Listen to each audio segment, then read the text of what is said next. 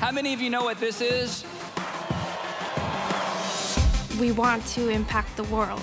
This is my way of entering another country without physically going. I want these children to come to know the Lord Jesus Christ. I just see this fire burning in me that never goes away. You have the hands packing the gifts, putting them in the box, the feet carrying them to the other side of the world, and other hands distributing the gifts. You get an idea of the body of Christ. 100% of the churches that participate in Operation Christmas Child impact a church on the other side of the world. Over 100 million shoebox gifts have helped tens of thousands of churches share God's love. For many of these children, they've never had anything new in their life. Maybe many of them have never had toys like this or a gift. But we gave this in Jesus' name. When we take the Operation Christmas Child to the community, they have accepted us. And it has been a wonderful tool to introduce us in the community. It enables the church to act like a body locally, globally, to express the heart of love that the Father has toward people that He made. Not only Christian to Christian and Christian to child, but church to church.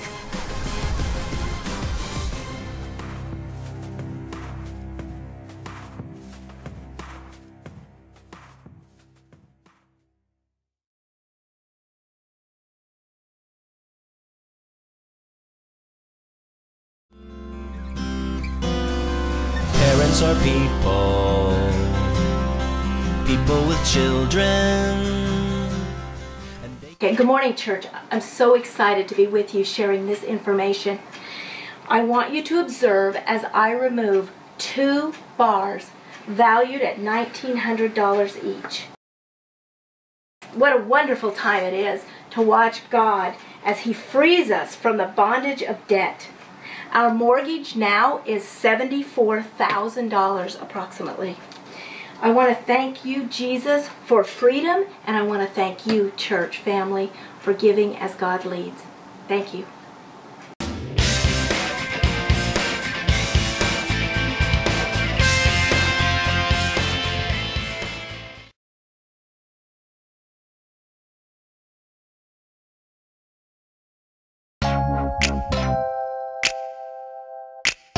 And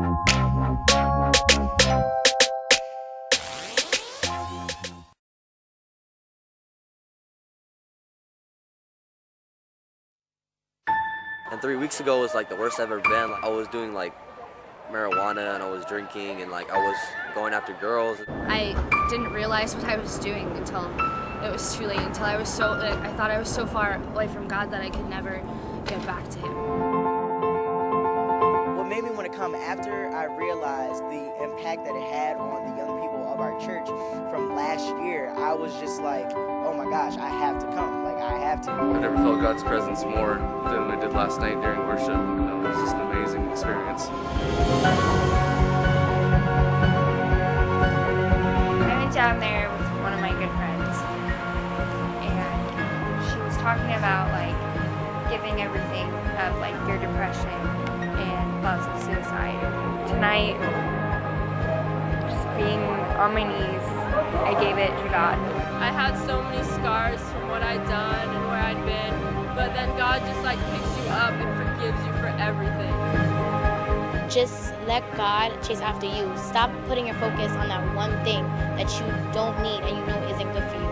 Let God capture who you are and let Him guide your path.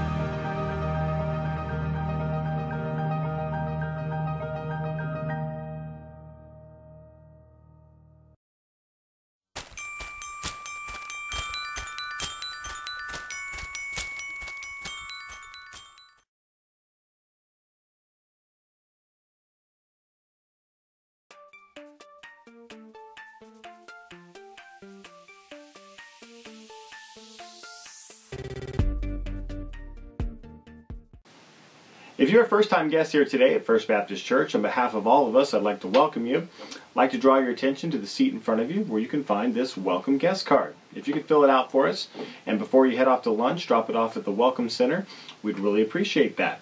On the back, uh, for everyone, is an opportunity to submit your prayer requests uh, drop it off in the offering plate or that same Welcome Center, and we'll be glad to faithfully pray for your requests.